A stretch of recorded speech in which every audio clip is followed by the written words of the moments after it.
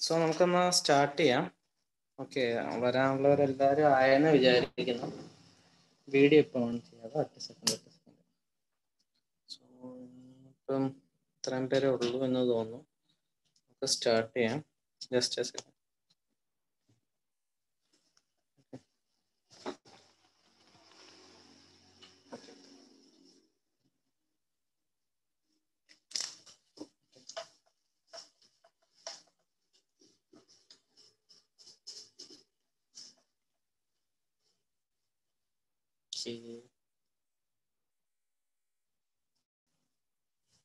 board first okay so board എല്ലാം okay എന്ന് വിചാരിക്കുന്നു. ഓക്കെ സോ നമുക്ക് സ്റ്റാർട്ട് ചെയ്യാം. സോ നമ്മൾ കഴിഞ്ഞ ക്ലാസ്സിൽ ഡിഫറൻസിയേഷനും കാര്യങ്ങളൊക്കെ ആയിരുന്നു പഠിച്ചിരുന്നത് അപ്പം എല്ലാവർക്കും അറിയാലോ ഇപ്രാവശ്യത്തെ നമ്മുടെ മാത്സ് എന്ന് പറയുന്ന ടോപ്പിക് എക്സാമിന് ഇരുപത് മാർക്കിനാണ് മൊത്തത്തിലുള്ളത്. ഓൾമോസ്റ്റ് ഇരുപത് മാർക്കിനാണ് സോ അതിന്റെ അകത്ത് മാർക്ക് ബേസിസിൽ പറയുവാണെങ്കിൽ ഇരുപത് മാർക്കിൽ പതിനഞ്ച് മാർക്കിനുള്ള ടോപ്പിക്സ് നമ്മൾ എക്സാക്ട്ലി കവർ ചെയ്തു. ഓക്കെ പതിനഞ്ച് മാർക്കിനുള്ള ടോപ്പിക്സ് ഇപ്രാവശ്യത്തെ എക്സാമിനുള്ള നമ്മൾ കംപ്ലീറ്റ് ആയിട്ട് കവർ ചെയ്തു. സോ നമുക്ക് മാത്സിനെ സംബന്ധിച്ച് എന്താണ്? നമ്മൾ ഫുള്ള് ഇരുപതിൽ ഇരുപത് മേടിക്കുക എന്നാണ് നമ്മുടെ ലക്ഷ്യം. കാരണം അതിനനുസരിച്ച് ബാക്കിയുള്ള സബ്ജക്റ്റ് നമുക്ക് സിമ്പ കുറച്ചുകൂടി ഡിഫിക്കൽട്ട് ആണ് മാക്സിമം സ്കോർ ചെയ്യാൻ സോ ഞാൻ കഴിഞ്ഞ ഒന്ന് രണ്ട് ദിവസമായിട്ട് നമ്മുടെ പ്രീവിയസ് ഇയർ പേപ്പേഴ്സ് ഞാൻ കുറെ റെഫർ ചെയ്തു. So previous year papers refer ചെയ്തതെന്ന് ഉദ്ദേശിച്ചത് എന്താണെന്ന് വെച്ചാൽ ഓരോ സബ്ജക്റ്റ് അതായത് പണ്ടത്തതിൽ നിന്ന് ഇപ്രാവശ്യത്തെ ടോപ്പിക്കിന് ഓരോ ടോപ്പിക്കിനുമുള്ള കൃത്യമായിട്ടുള്ള വെയിറ്റേജ് എത്രയാണെന്ന് നിങ്ങളോട് പറഞ്ഞു തന്നാൽ കൊള്ളാമെന്ന് സാറും പറഞ്ഞു. സോ അപ്പൊ ഞാനും സാർ അത് ഡിസ്കസ് ചെയ്ത് കുറച്ച് ക്വസ്റ്റ്യൻസും കാര്യങ്ങളൊക്കെ പ്രീവിയസ് ഇയർ ക്വസ്റ്റ്യൻസും ഒക്കെ കളക്ട് ചെയ്തിട്ടുണ്ട് ഇന്നത്തേക്ക്. സോ ഒരു രണ്ടായിരത്തി പതിനെട്ട് വരെ ഓക്കെ ഞാൻ ആദ്യമേ നമ്മുടെ മാർക്സിന്റെ കാര്യം ഓരോ ചാപ്റ്ററിന്റെ വെയിറ്റേജും പറഞ്ഞു തരാം. സോ നിങ്ങൾ പഠിക്കുമ്പോഴാണേലും ആ ഒരു വെയിറ്റേജിന്റെ മാർക്ക് നോക്കി ജസ്റ്റ് ഒന്ന് പഠിക്കുക. അപ്പം നിങ്ങൾക്ക് ഏറ്റവും സ്കോർ ചെയ്യാൻ പറ്റുന്ന ചാപ്റ്റർ ആണെങ്കിലും അത് വിട്ട് കളയാണ്ട് അത് തന്നെ പഠിക്കുക. സോ ഒരു ടൂ തൗസൻഡ് എയ്റ്റീൻ വരെയുള്ള എക്സാംസിന് മാത്സിന് എത്രയായിരുന്നു? പത്ത് മാർക്കായിരുന്നു നമുക്ക് ഉണ്ടായിരുന്നത്. പത്ത് മാർക്കായിരുന്നു നമുക്ക് ഉണ്ടായിരുന്നത് മാത്സ് എന്ന് പറയുന്ന സബ്ജക്റ്റ് അതിൽ വെയിറ്റേജ് എങ്ങനെയായിരുന്നു വെച്ചാൽ മെട്രിക്സ് ആൻഡ് ഡിറ്റർമിനൻസ് ആ രണ്ട് ചാപ്റ്ററും കൂടെ കമ്പൈൻ ചെയ്ത് രണ്ട് മാർക്കായിരുന്നു ഉണ്ടായിരുന്നു. അത് കഴിഞ്ഞ് പിന്നെ നമ്മുടെ കോർഡിനേറ്റ് ജോമെട്രി അതായത് സ്ട്രൈറ്റ് ലൈൻസിന്റെ ചാപ്റ്ററിലെ കോർഡിനേറ്റ് ജോമെട്രി എന്ന് പറയുന്ന ആ ചാപ്റ്ററിന്റെ അകത്ത് ഒരു മാർക്കേ ഉണ്ടായിരുന്നു. ഇവിടെ രണ്ട് മാർക്കും ഇവിടെ ഒരു മാർക്കായിരുന്നു ഉണ്ടായിരുന്നത് ഓക്കെ അത് കഴിഞ്ഞിട്ട് വന്ന ബൈനോമിയൽ തിയറി ഇല്ലേ? ബൈനോമിയൽ തിയറം ബൈനോമിയൽ തിയറത്തിന് ഒരു മാർക്കായിരുന്നു നേരത്തെ ഒക്കെ ഉണ്ടായിരുന്നത്. അത് കഴിഞ്ഞിട്ട് നമ്മുടെ ട്രിഗ്നോമെട്രി. ട്രിഗ്നോമെട്രി ഒരു മാർക്കായിരുന്നു ഉണ്ടായിരുന്നത്. പൊതുവെ ഏറ്റവും മോസ്റ്റ് കോമണി കണ്ട പേപ്പേഴ്സിലാണ് ഇതിൽ അങ്ങോട്ടും ഇങ്ങോട്ടൊക്കെ ചെറിയ വ്യത്യാസം വന്നിട്ടുണ്ടാവും. എങ്കിലും ഏറ്റവും കൂടുതൽ കണ്ടു. പിന്നെ നമ്മുടെ chapter limit continuity and differentiation okay അതിൽ രണ്ട് മാർക്കായിരുന്നു ആ ചാപ്റ്ററിന് ഉണ്ടായിരുന്നത്. പിന്നെ ഏറ്റവും കൂടുതൽ വെയിറ്റേജ് വന്നിരുന്നെന്ന് പറയുന്ന ഒരു ചാപ്റ്റർ ഏറ്റവും കൂടുതൽ വെയിറ്റേജ് വന്നിരുന്ന ചാപ്റ്റർ എന്ന് പറയുന്നത് integration and application int integration integration and application എന്ന് പറയുന്ന ചാപ്റ്ററിനായിരുന്നു മൂന്ന് മാർക്ക് വരെ ചോദിച്ചിരുന്നത്. സോ ഓക്കെ ഇത് രണ്ടായിരത്തി പതിനെട്ട് വരെയുള്ള അവസ്ഥയാണ്.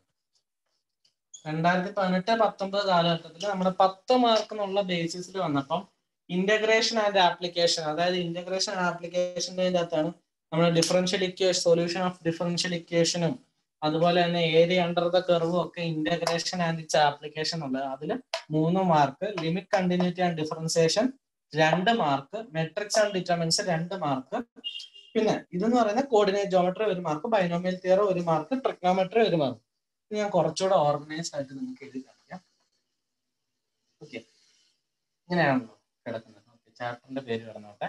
സോ രണ്ടായിരത്തി പതിനെട്ട് കാലഘട്ടത്തിലുള്ള മാർക്സ് വെയിറ്റേജ് ഇത് രണ്ടായിരത്തി പതിനെട്ട് പത്തൊമ്പത് കാലഘട്ടം. അത് കഴിഞ്ഞിട്ട് ഇപ്പോഴത്തെ ഇതുണ്ടല്ലോ. പുതിയ സ്കീം അനുസരിച്ച് അതായത് രണ്ടായിരത്തി പത്തൊമ്പത് ഇരുപത് തൊട്ടുള്ള പുതിയ സ്കീം അനുസരിച്ചുള്ള മാർക്ക് ഇതിൽ മൂന്ന് രണ്ട് രണ്ട് അല്ലെ? മെട്രിക്സ് ആൻഡ് ഡിറ്റർമിനൻസിൽ ഓക്കെ പിന്നെ ഒന്ന് ഒന്ന് ഒന്ന്. ഓക്കെ ഇങ്ങനെയായിരുന്നു പണ്ട് ചോദിച്ചോണ്ടിരുന്നത് ഇപ്പോഴത്തെ വെയിറ്റേജ് അനുസരിച്ച് അപ്രോക്സിമേറ്റ്ലി ഇന്റഗ്രേഷൻ ആൻഡ് ആപ്ലിക്കേഷൻ എന്ന് പറയുന്ന ചാപ്റ്ററിന് അഞ്ച് മാർക്കാണ് ഉള്ളത് ഓക്കെ അഞ്ച് മാർക്കാണ് ഈ ഒരു ചാപ്റ്ററിനുള്ളത് സോ നമുക്ക് പെൻഡിങ് ആയിട്ട് കിടക്കുന്ന ഈ ഒരേ ഒരു ചാപ്റ്റർ ഉള്ളു. അതായത് പതിനഞ്ച് മാർക്കിൽ നമ്മൾ പതിനഞ്ച് മാർക്കിനുള്ള ടോപ്പിക്സ് എല്ലാം തീർന്നു. ഇന്റഗ്രേഷൻ ആൻഡ് ആപ്ലിക്കേഷൻ ഈ ഒരൊറ്റ ചാപ്റ്ററോടെ ഉള്ളൂ. അഞ്ച് മാർക്കിന്റെ ഒരു ചാപ്റ്ററോടെയാണ് നമുക്ക് പഠിക്കാനുള്ളത്. പിന്നെ ലിമിറ്റ് കണ്ടിന്യൂറ്റി ആൻഡ് ഡിഫറൻസിയേഷൻ എന്ന് പറയുന്ന ആ ചാപ്റ്ററിന് നാല് മാർക്കാണ് വെയിറ്റേജ് വരുന്നത്. ഓക്കെ പിന്നെ മെട്രിക്സ് ആൻഡ് ഡിറ്റർമിനൻസിന് അഞ്ച് mark.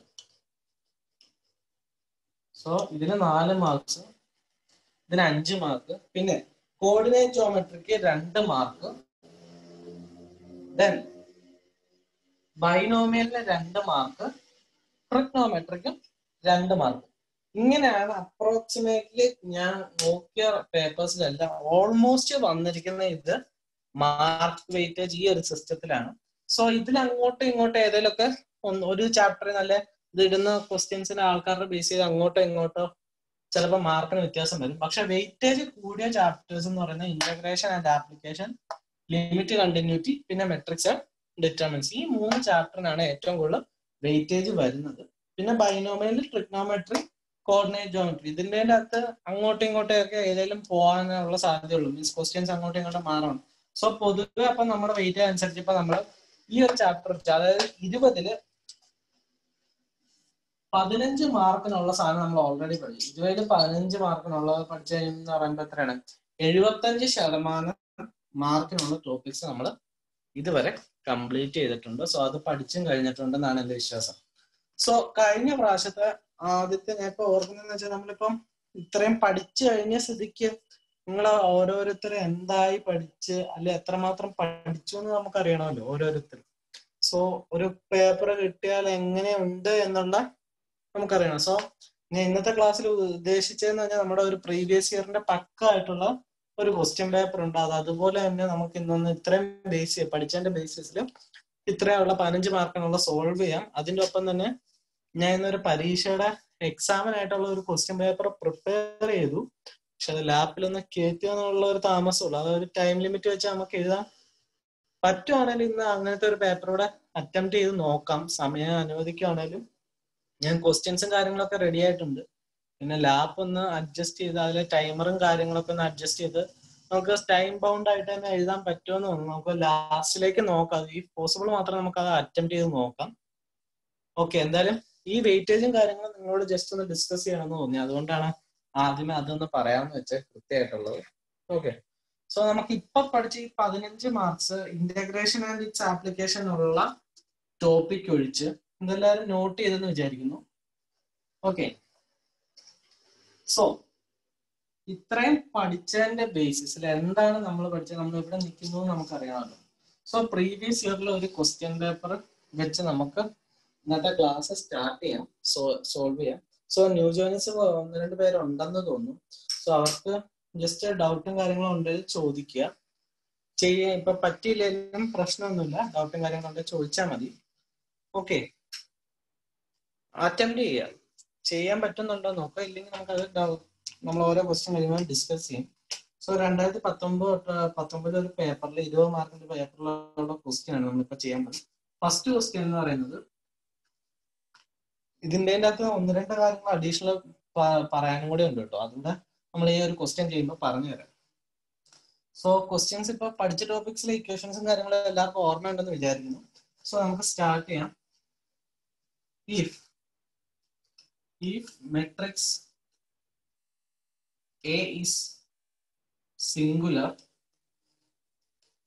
then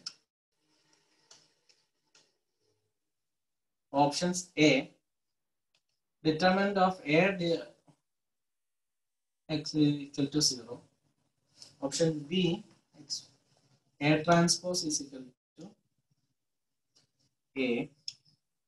Option C A inverse is equal to A option D A trans is equal to 0 ഏതാണ് answer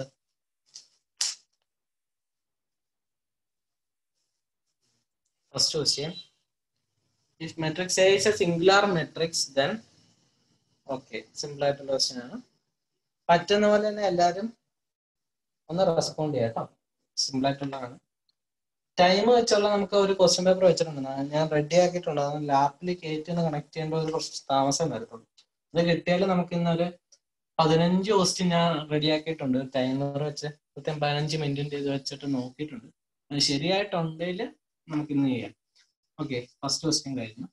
ഓപ്ഷൻ ഡി ആയിരുന്നു. സിംഗുലാർ മെട്രിക്സ് എന്ന് പറയുന്ന എന്താണ് ഒരു സിംഗുലാർ മെട്രിക്സ് സിംഗുലാർ മെട്രിക്സ് എന്ന് പറയുന്നത് എപ്പോഴാണ് പറയുന്നത്? ഒരു മെട്രിക്സിന്റെ determinant is equal to zero ആകുമ്പോഴാണ് നമ്മൾ അതിനെ സിംഗുലാർ മെട്രിക്സ് എന്ന് പറയുന്നത്.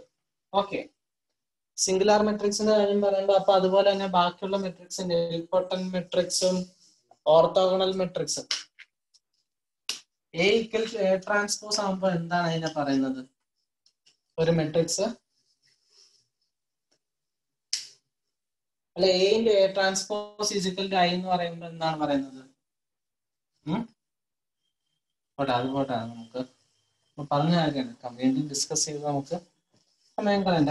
എന്റെ ക്ലാസ്സിൽ ഡൗട്ടും കാര്യങ്ങളും ഉണ്ടെങ്കിൽ ആരെങ്കിലും ചോദിച്ചാൽ മതി. പറഞ്ഞു തരാം. So next question second question ആട്ടോ. നിങ്ങൾ തന്നെ വിലയിരുത്തുക. നമ്മളിപ്പോ ചെയ്യാൻ പോകുന്ന പ്രീവിയസ് ഇയറിലെ പേപ്പറാണ് ഇതിൽ എത്ര ക്വസ്റ്റ്യൻസ് നിങ്ങൾ അറ്റൻഡ് ചെയ്യാൻ പറ്റുന്നുണ്ട്? എത്ര സമയം എടുക്കുന്നുണ്ടെന്ന് ആലോചിക്കുക. Determinant A is equal to, അല്ല matrix A is equal to one two three zero five zero two four three cofactor of five എന്താണെന്നാണ് question options zero option B six option C three option D minus three cofactor of five എന്താണെന്നാണ് question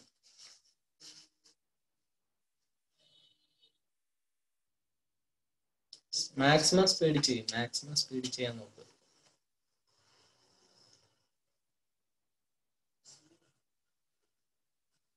ഒരാൾ answer പറഞ്ഞു ബാക്കി ആരും ഇല്ല. Okay രണ്ട്. മൂന്ന്. Okay മൂന്ന് പേര് പറഞ്ഞിട്ടുണ്ട്. ബാക്കി എല്ലാവർക്കും കിട്ടിയെന്ന് വിചാരിക്കുന്നു. സോ ഇപ്പൊ നിങ്ങൾ ഒരു പതിനഞ്ച് സെക്കൻഡ് ജസ്റ്റ് അപ്രോക്സിമേറ്റ്ലി എടുത്തത്. കുഴപ്പമില്ലാത്ത ടൈമിംഗ് ആണ്. So co factor of five ആണ് എടുക്കേണ്ടത്. സോ നമുക്കറിയാം ആദ്യം എന്താ? കോ ഫാക്ടർ ഓഫ് മെട്രിക്സ് എന്ന് പറയുമ്പോൾ എന്താണ്? Minus one plus I plus J into അതിന്റെ മൈനർ ആണ് വരുന്നത്. അല്ലെ? ഇന്റു മൈനർ സോ നമ്മൾ അങ്ങനെയാണ് ഇക്വേഷനെങ്കിൽ നമുക്ക് സിമ്പിൾ ആയിട്ട് പഠിച്ചിരുന്നത് ഇവിടുത്തെ എല്ലാം പ്ലസ് മൈനസ് പ്ലസ് ആണ് വരുന്നത്. സെക്കൻഡ് റോയിൽ വരുമ്പം മൈനസ് പ്ലസ് മൈനസ് പിന്നെ പ്ലസ് മൈനസ് പ്ലസ് എന്ന് പറഞ്ഞാണ് വരുന്നത്. So five cofactor of five ആണ്. അഞ്ചിന്റെ സൈൻ എന്താണ്? പോസിറ്റീവ് ആണ്. ഇന്റു അഞ്ചിന്റെ മൈനർ അതായത് അഞ്ച് ഇൻക്ലൂഡ് ചെയ്യുന്ന റോയും കോളവും മാറ്റിയിട്ട് മിച്ചമുള്ള ഇതെന്താണ്? വണ്ണ് ത്രീ ടു ത്രീ ആ ഡിറ്റർമിനന്റ് എടുക്കുമ്പോൾ എന്താണ്? One into three minus two into three three minus six minus three ആണ് കോ ഫാക്ടർ എന്ന് പറയുന്നത്. ഓക്കെ എല്ലാവർക്കും അത് കിട്ടിയതാണെന്ന് വിചാരിക്കുന്നു. So next question question number three if delta 1 is equal to delta 1 is equal to 1 0 0 2, 3, 0, minus 1, 5, minus 3. And delta 2 is equal to minus 3, 5, minus 1, 0, 3, 2, 0, 0, 1. Then options ഇതിൽ ഏത് correlation ആണ് കറക്റ്റ് എന്നാണ് question determinant of delta one is equal to two times of determinant delta two option B determinant of delta one is two option C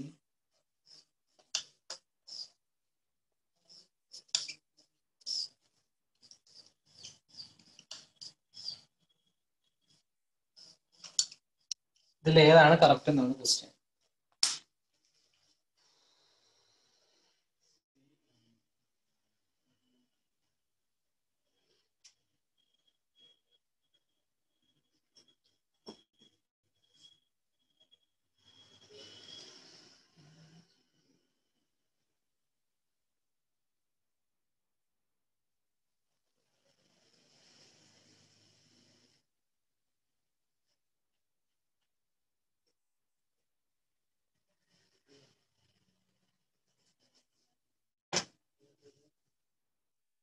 okay ഒരാൾ answer ചെയ്തു. Okay ബാക്കി? Okay കുഴപ്പമില്ല കുഴപ്പമില്ല. രണ്ടുപേര് റെസ്പോണ്ട് ചെയ്തു. കുഴപ്പമില്ല. ഓക്കെ മൂന്ന്. മൂന്ന് പേരുടെ റെസ്പോൺസ് വന്നു. ഇത് പ്രീവിയസ് ഇയറിലെ ക്വസ്റ്റ്യനിൽ നിന്ന് ഞാൻ ഡയറക്റ്റ് എടുത്താണ്. ക്വസ്റ്റ്യൻ പേപ്പറിലെ ക്വസ്റ്റ്യൻസ് അതേ ഓർഡറിലാട്ടോ ഞാൻ ജയിക്കുന്നത് ഒരു വ്യത്യാസവും ഇല്ല. ഓക്കെ കുഴപ്പമില്ലാത്ത രീതിയിൽ ആൾക്കാർ റെസ്പോണ്ട് ചെയ്ത് റെസ്പോൺസ് നമുക്ക് വന്നു. ഓക്കെ സോ ബാക്കി ആലോചിക്കും. ഒരു മിനിറ്റ് സമയം കഴിഞ്ഞു. സോ ഒന്നാമത്തെ ഡിറ്റർമിനന്റ് ഓഫ് ഫസ്റ്റ് മെട്രിക്സ് എടുക്കണം. സോ വലിയ രീതിയിൽ എടുക്കാൻ നോക്കാതെ ഞാൻ പറഞ്ഞ ഡിറ്റർമിനന്റ് എടുക്കുമ്പോൾ ഏറ്റവും കൂടുതൽ സീറോസ് വരുന്ന റോസിന്റെ ബേസിൽ എടുക്കാനായിരുന്നു ഞാൻ പറഞ്ഞു സോ ഇവിടെ ഫസ്റ്റ് റോ അല്ലെ കോളം എന്നുള്ള രീതിയിൽ. സോ ഇവിടെ നോക്കുമ്പോൾ എന്താണ്? ഫസ്റ്റ് റോയിൽ രണ്ട് സീറോ വരുന്നുണ്ട്. ഇല്ലേ? സോ നമുക്ക് ആ ബേസിസിലെ ഫസ്റ്റിന്റെ ഡിറ്റർമിനന്റ് എടുക്കാം. സോ ഡിറ്റർമിനന്റ് നമുക്ക് എന്തെടുക്കാം ഇങ്ങനത്തെ രീതിയിൽ ഡിറ്റർമിനന്റ് എടുക്കാം. So one into one into determinant three zero five minus three plus രണ്ടെണ്ണവും zero ബേസിസിലാണ് പോകുന്നത്. അതുകൊണ്ട് അത് കൺസിഡർ ചെയ്യേണ്ട ആവശ്യമില്ല. സോ ഇതിന്റെ ഡിറ്റർമിനന്റ് എന്ന് പറയുന്നത് എന്താണ്? മൈനസ് നയൻ ആണ്. രണ്ടാമത്തെ ഡിറ്റർമിനന്റ് ഞാൻ നോക്കിയപ്പോ താഴത്തെ കോളം ബേസിസിൽ താഴത്തെ റോ ബേസിസിൽ അല്ലെങ്കിൽ ഫസ്റ്റ് കോളം ബേസിസിൽ എടുക്കാൻ പറ്റും. അപ്പൊ ഞാൻ വേണമെങ്കിൽ ഫസ്റ്റ് കോളം ബേസിസിൽ എടുക്കുകയാണെങ്കിൽ ഫസ്റ്റ് കോളത്തിന്റെ ബേസിസിൽ എടുക്കുവാണെങ്കിൽ എന്താണ്? മൈനസ് ത്രീ ഇന്റു ബാക്കി എന്താണ് വരുന്നത്? ത്രീ ടു സീറോ വൺ പിന്നെ അടുത്ത രണ്ട് എലമെന്റ്സ് എന്താണ്? ഞാൻ കോളം ബൈസിസ് ഡിറ്റർമിനന്റ് എടുത്താൽ സീറോ ആണ്. സീറോ ഇന്റു എന്ന് പറഞ്ഞാൽ വരുന്നത്. സോ അത് രണ്ടും സീറോ ആയിരിക്കും. അതുകൊണ്ട് കുഴപ്പമില്ല. So minus three into three ആണ്. അതായത് മൈനസ് നയൻ ആണ്. So determinant of first matrix is to determinant of second matrix option B ആയിരുന്നു.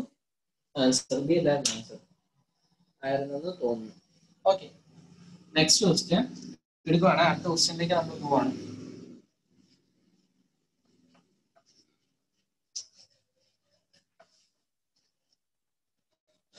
Okay next question question number ഒന്ന് രണ്ട് മൂന്ന് നാലാമത്തെ ക്വസ്റ്റ്യൻ ആണ്. Question number four coefficient of coefficient of p square q cube in 2p minus 3q the whole power 5 is. എന്താണെന്നാണ് question option option A minus ആയിരത്തി എൺപത് option B എഴുന്നൂറ്റി ഇരുപത് ഓപ്ഷൻ സി മൈനസ് എഴുന്നൂറ്റി ഇരുപത് ഓപ്ഷൻ ഡി ആയിരത്തി എൺപത്. പത്ത് മിനിറ്റും കൂടെ ഉള്ള ഈ ലിങ്ക് അത് കഴിയുമ്പോൾ ഈ ലിങ്ക് എക്സോസ്റ്റ് ആവും. വീണ്ടും അതിൽ ഒന്നുകൂടെ ജോയിൻ ചെയ്യുക അതേ ലിങ്കിൽ. Okay coefficient of P square Q cube into P minus three Q the whole power five is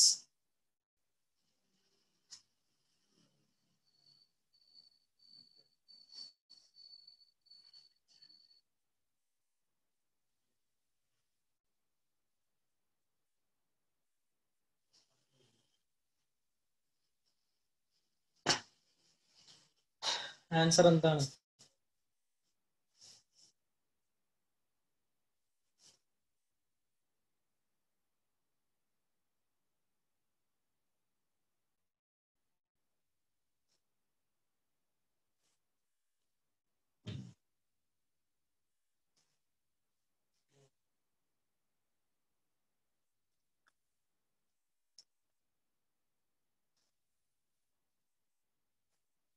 കിട്ടിയില്ല ആർക്കും.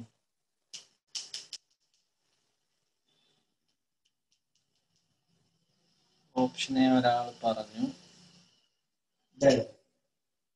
വേറെ ആൻസർ എന്തെങ്കിലും ഉണ്ടോ നോക്കട്ടെ. ഒരാൾ ഓപ്ഷൻ എ പറഞ്ഞു.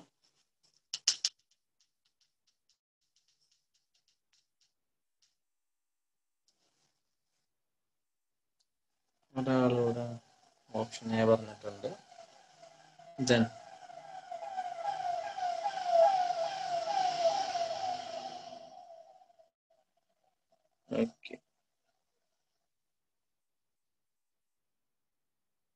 ഓപ്ഷൻ എ ആണ് ആൻസർ. സോ അത് കിട്ടാത്ത ആരെങ്കിലും ഉണ്ടോ? അറിയില്ല. വേറെ ആരും റെസ്പോണ്ട് ആയിരുന്നില്ല സോ നമുക്ക് വേണേലൊന്ന് ഡിസ്കസ് ചെയ്യാത് സോ ഒരു ബൈനോമിയൽ തിയറത്തിൽ ജനറൽ ടേമിന്റെ എക്സ് ഇതെങ്ങനെയാണ്? അതായത് ടി ആർ പ്ലസ് വൺ നമ്മൾ പഠിച്ച ഇക്വേഷൻ ആണ്. ടി ആർ പ്ലസ് വൺ എന്ന് പറയുന്ന ഒരു ടേമിന്റെ എക്സ്പാൻഷൻ എങ്ങനെയാണ്? എൻ സി ആർ ഇപ്പൊ A plus B the whole power N എന്നുള്ള ഫോർമാറ്റിലാണെങ്കിൽ എന്താണ്? അതായത് A plus B the whole power N എന്ന് പറയുന്ന ഒരു ഇക്വേഷന്റെ അകത്ത് എന്ത് ടേമിന്റെ ഇതെന്ന് പറയുന്നത് എങ്ങനെയാണ്?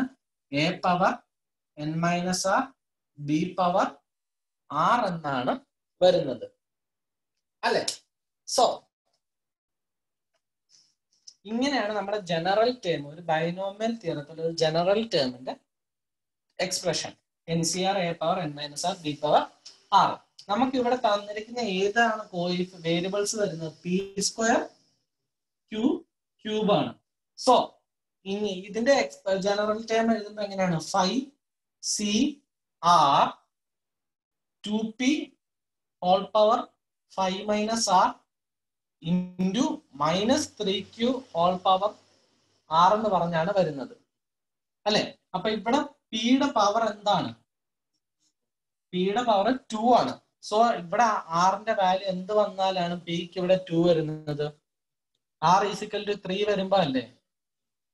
R is equal two three വന്നാലല്ലേ ഈ ഇക്വേഷൻ സാറ്റിസ്ഫൈ ചെയ്യുന്ന രീതിയിൽ ക്യൂക്ക് ക്യൂ ക്യൂബ് എന്ന് വരത്തുള്ളൂ. R is equal two three വന്നാലല്ലേ ആകത്തുള്ളൂ. സോ നമ്മുടെ ഇക്വേഷൻ എങ്ങനെ മാറും?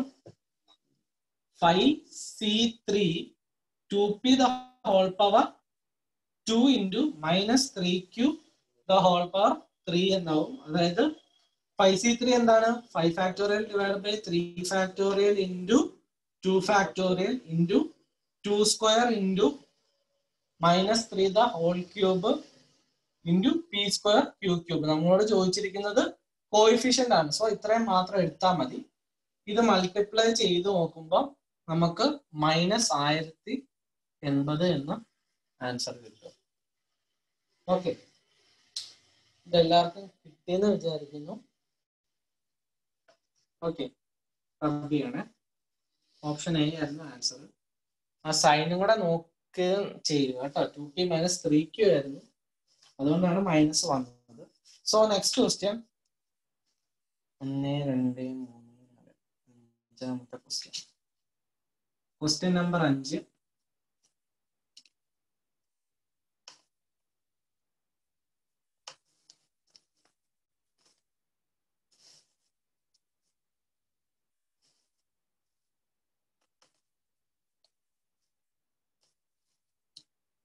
Options. 1 by 2 option B root 3 by 2 option C 2 by root 3 option D 1 എന്താണ് answer sine three ninety degree into tan thirty degree plus sine one twenty degree വേഗം പറയും.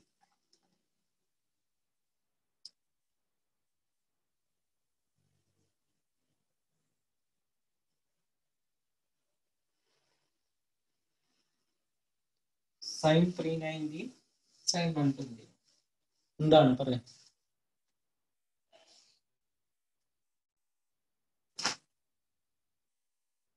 ഇവിടെ simple ആയിട്ടുള്ള ഒരു ക്വസ്റ്റ്യൻ ആണ്. ഇത്രയും സമയം എടുക്കാൻ പാടില്ല. നമ്മൾ ഇത്രയും പഠിച്ചതല്ലേ? പറ ആരെങ്കിലും ആൻസർ പറ. എനിക്ക് തന്നെ നാണക്കേടാക്കല്ലേ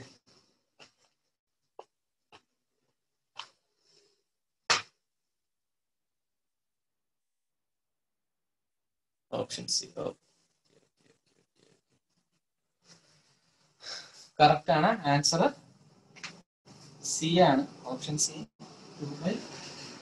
കറക്റ്റ് ആൻസർ ആണ്. എന്താണ് വേറെ ആരും റെസ്പോണ്ട് ചെയ്യാത്ത? ആപ്പാട് രണ്ടോ മൂന്നോ പേര് മാത്രമേ ഉള്ളൂ റെസ്പോണ്ട് ചെയ്യുന്നത് നമ്മൾ ആപ്പാട് മൂന്ന് പേരെ അല്ലല്ലോ ഞാൻ പഠിപ്പിച്ചേ.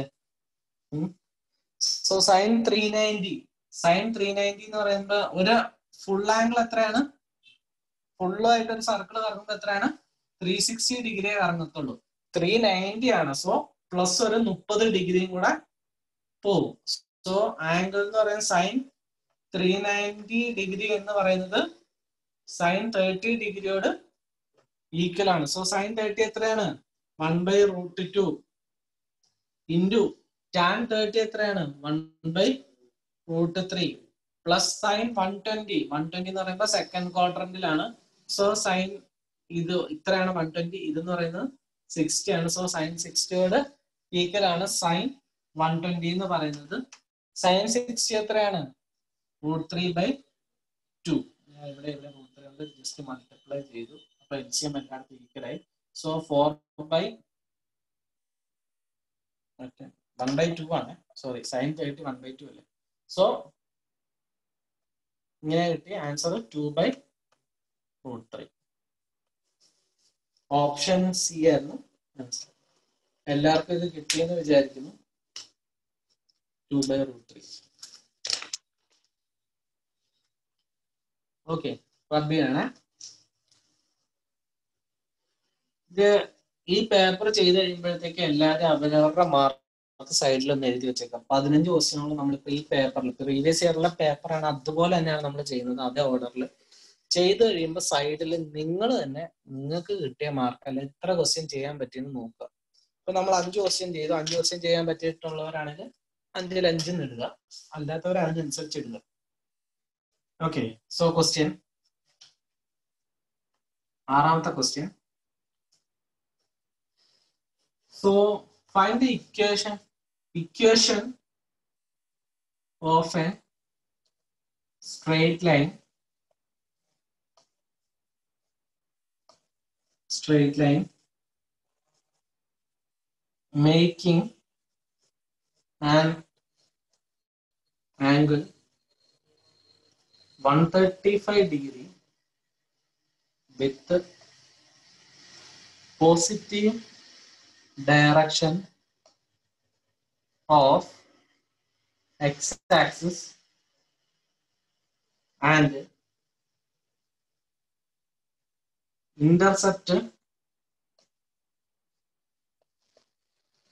of 5 on y axis is options.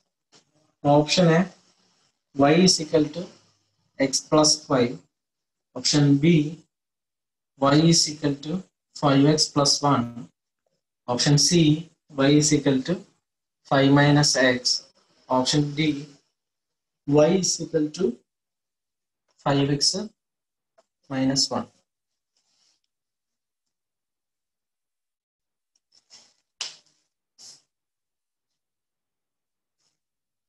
എന്താണ് ആൻസർ പറയൂ.